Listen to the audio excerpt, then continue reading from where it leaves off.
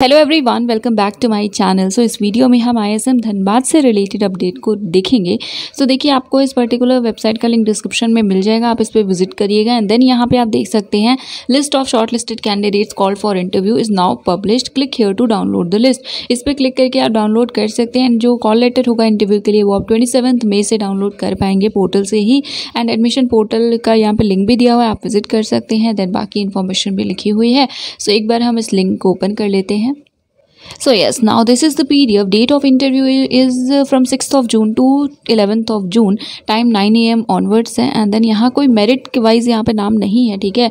Random है सो आप इसको चेक कर लीजिएगा. एंड यहाँ पे आप शेड्यूल देख सकते हैं किस डिपार्टमेंट का इंटरव्यू कब है.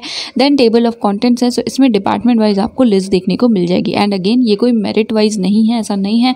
नंबर वन है तो वो टॉप है, ठीक है? ऐसा कुछ भी नहीं है, ये रैंडम ऑर्डर है. सो यस देख लीजिए. एंड ये था update thank you so much